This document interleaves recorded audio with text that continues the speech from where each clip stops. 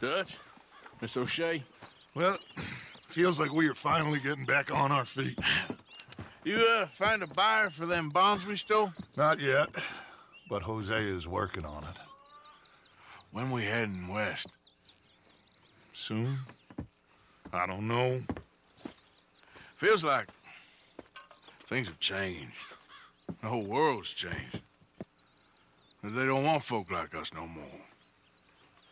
We're being hunted. We are smarter than them. Only the feeblest of men take jobs in the government. I hope so. Trust Dutch, Mr. Morgan. You have to. They got Micah! Dutch! Arthur!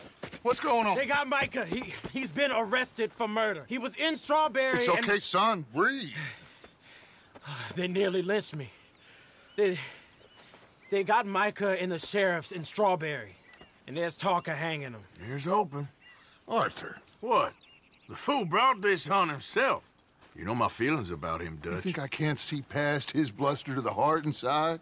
He is a fine man. No, I ain't saving that fool. I can't go.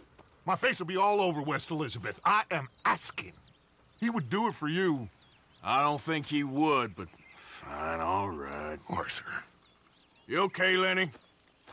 Yeah, of course I'm okay. You don't seem okay. You take that kid into town. Valentine, not Strawberry. Get him drunk. And Arthur, no crazy business. I've given that up. And you get Micah out of that jail. Come on, son. I'll get to it, Dutch.